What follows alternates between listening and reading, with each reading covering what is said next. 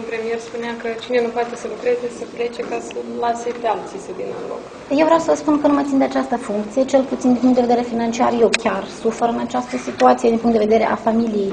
Eu nu văd copiii de dimineață până seara, dar mi-am asumat împreună cu toată echipa anumiți, uh, anumite rezultate. Vreau să vă spun că primele deja am început să le simt ori uh, schimbarea regulamentului de salarizare și uh, tot ce înseamnă investire în tinerii specialiști a fost uh, cap de listă în lista mea de priorități. Totodată, eu sunt gata în orice moment să plec, am spus-o și o spun.